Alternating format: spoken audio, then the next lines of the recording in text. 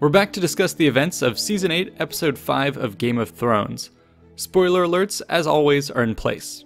I'll be breaking down the video into three parts. The first analyzing the siege of a city, the second analyzing the sacking of a city, and the third offering my improvements on the episode's pivotal scene. Episode 5 is the culmination of a rapid campaign to knock out Cersei by taking the capital of King's Landing. I've already provided commentary on the campaign leading up to the siege, so for now we'll just assume for the sake of discussion that the armies are facing off at the walls. This time around, the episode does not provide us with the War Council talking over a convenient battle map, so I'll be forced to sum things up on my own based on what was presented to us and critique along the way. Basically, it seems like the first move of the army was for Daenerys to strike up camp outside the walls.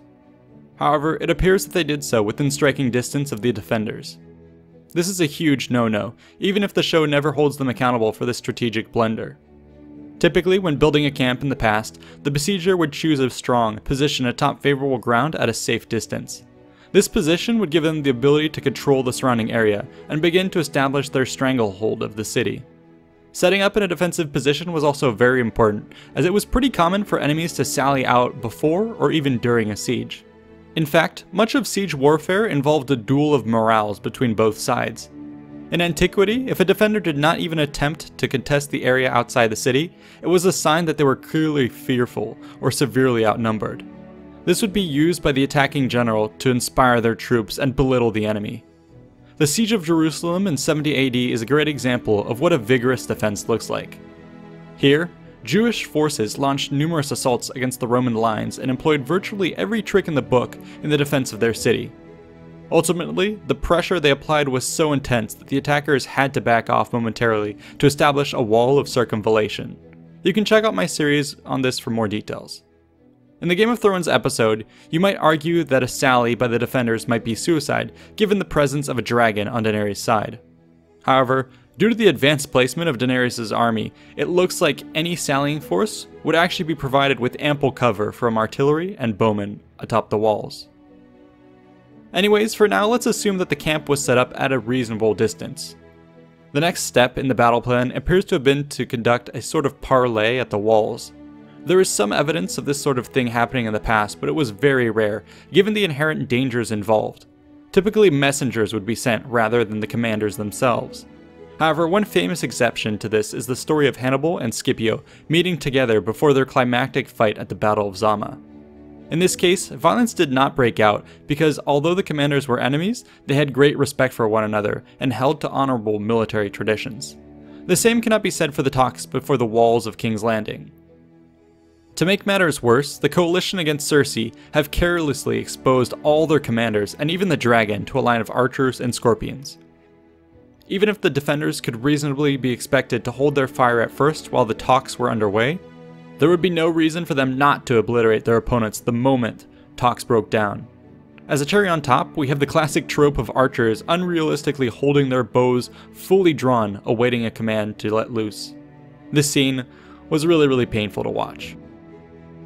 So now let's assume for the sake of my sanity that the parley had occurred with a careful exchange of messengers instead. The siege is established, and it's time to start planning the attack. Incredibly, within just a few days, the besieging army is already talking about an imminent assault to breach the walls. Wow, that was quick. However, as we review the camp, we see no evidence of them building any equipment whatsoever. No ladders, no rams, no siege towers, no sapper's tunnel, nothing. They don't even have any artillery of their own from the Battle of Winterfell. This is totally unacceptable. How can you expect to take out a capital city without any of these? Surely, you aren't planning on a single dragon being your key to victory. If episode 4 taught me anything, it's that they are dangerously vulnerable to the exact same countermeasure your opponent has mounted on literally every guard tower of the city.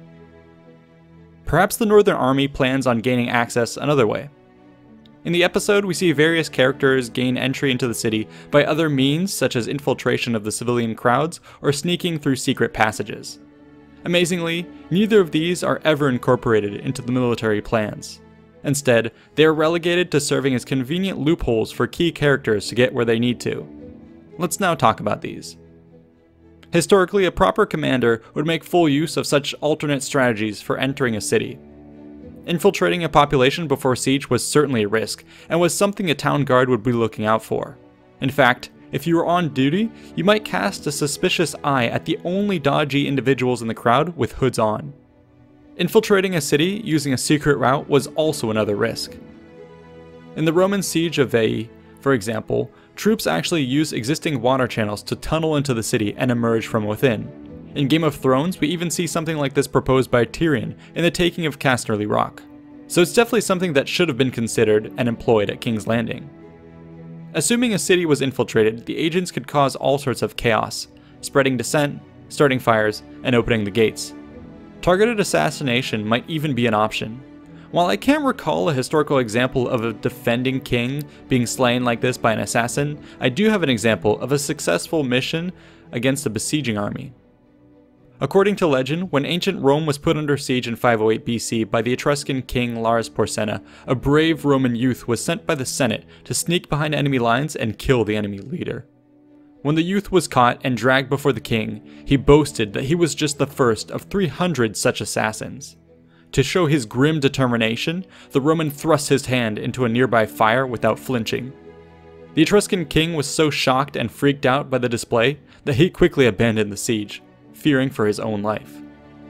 Given this example, I'm on rather firm ground on expecting the military leaders of Game of Thrones to attempt something similar, especially when they show me Arya, the master assassin capable of magical shapeshifting, enter King's Landing. To not use her to assassinate Cersei and end the siege with a single death was a gross waste of an unimaginably powerful military asset. Anyways, the show ignores any of those more subtle solutions for taking King's Landing, and we are left with a direct assault whose success hinges solely on the actions of a single dragon. Luckily for the army of Daenerys, no one shoots at them while they're mustered in tight clusters before the artillery, awaiting the outcome of the dragon attack. Thankfully, someone up on high was looking after the army of Daenerys and patched the game such that Drogon ends up absolutely laying waste to every single aspect of the defense, he blows up an entire fleet and every single scorpion on the walls of the city without breaking a sweat or running out of dragon fuel for fire. If the episode were self contained, I think I could actually buy into this chain of events. After all, using dragons in a medieval setting can reasonably be compared to deploying modern military aircraft, and the results should be pretty one sided.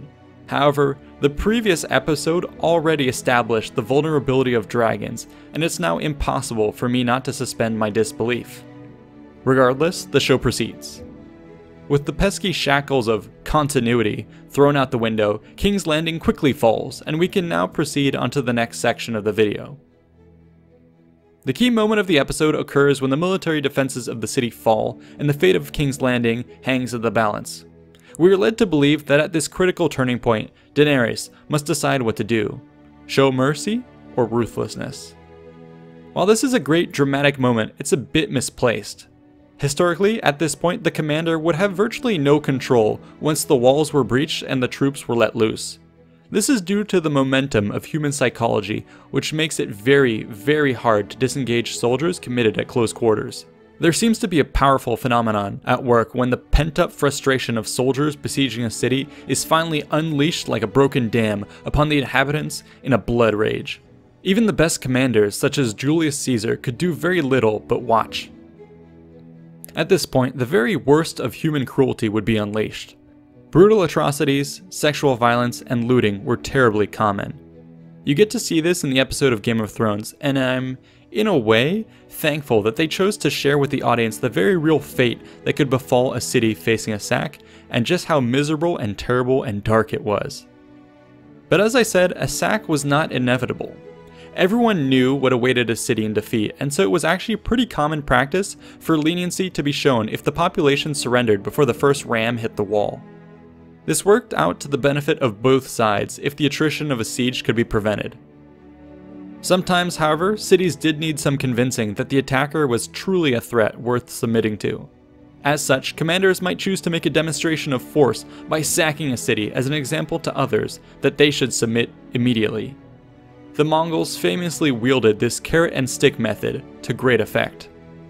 Another reason a commander might sack a city would be if they intended to severely cripple the city's ability to resist in the future, or if the invader planned on settling the territory with their own colonists.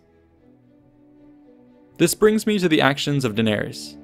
From the get go, it seems that she and Cersei both decided that a battle was inevitable. According to the traditions of ancient warfare, this basically meant that a sacking was also inevitable. If the episode had shown the walls fall and the soldiers pour into the city in an uncontrolled frenzy of slaughter, things would be pretty dark, but ultimately quite realistic. However, what happens in the show is that there is this miraculous moment where the attackers somehow manage to rein themselves in when the bells ring out in surrender. If I'm to accept that the momentum of the attack was truly halted, then I do think that we can reasonably place agency back into the hands of Daenerys as commander. The show writers would have me believe that at this moment, Daenerys squanders this rare second chance at deciding the fate of a city to just reaffirm that it should be sacked. Not only that, but they have her directly target the civilian population first, rather than attack the military and personal objective of the Red Keep. I believe it's entirely justified that the fanbase has been losing its mind over the illogical nature of this moment. As I've mentioned, commanders would typically only intentionally sack a city for the following three reasons. 1. If they wish to intimidate other cities into surrender. 2. If they wish to limit the city's future ability to pose a military threat. And 3. If they wish to colonize the territory with their own colonists. I don't believe that the first point applies, as we have already been told that the other kingdoms of the realm are already bending the knee to Daenerys. The second point does not apply either, since the main defenses of King's Landing are actually supplied by forces coming from other locations and not necessarily from the civilian population of the city.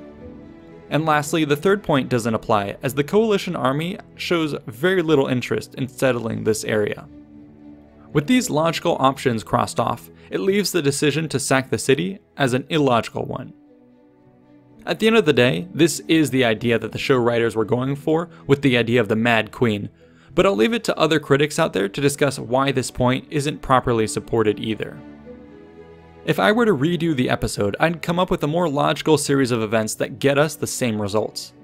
I would propose that when the bells ring, Daenerys should be visibly torn on what action to take, but ultimately decide on mercy. However, her hand should be forced by some event. Perhaps a ballista shot gets fired at her, nearly killing herself or Drogon. This could be on the order of Cersei, or more dramatically, could be the result of a child who had lost their parents in the previous crossfire and decided to man an abandoned scorpion in vengeance. This would further reinforce the idea in Daenerys' mind that the people hate her. Yet, I would still have her show mercy, she could give a death stare and roar to the youth until they run off, and then immediately fly for the Red Keep, deciding to end things now on her own terms. She proceeds to destroy the structure as in the show, taking out all her frustration on a deserving enemy. However, as she does so, the dragon blasts accidentally set off the hidden reserves of wildfire. These chain react across the city, destroying it to the same level as in the show, we see a dramatic shot of the child Daenerys had spared earlier die from the blast.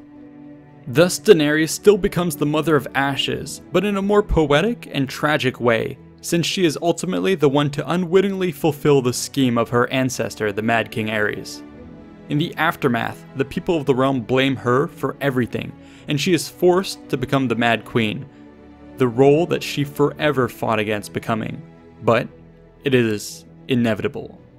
I'd end the show symbolically with a shot of someone flipping a coin into the ruins of King's Landing. As it tumbles, we see both sides with representations of a mad king and a great king, a call back to the old saying about the nature of Targaryen rulers. The coin lands dramatically with a good king face up, only to be covered by ashes. Cut to credits. I hope you've enjoyed this bit of historical analysis and fan fiction.